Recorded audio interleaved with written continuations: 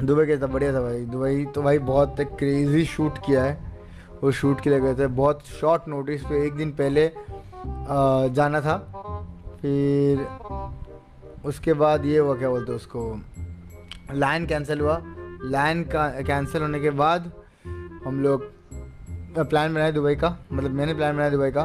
फिर उसके बाद वापस जब मैं फ़्लाइट मतलब सब बुकिंग कर लिया, फिर मेरे को कंफर्मेशन मिला कि नहीं लाइन हो रहा है। तो बोला, चलो ठीक है लाइन तक तो आ ही जाएँगे। दो दिन की बात है। तो अपन जाके आ गए।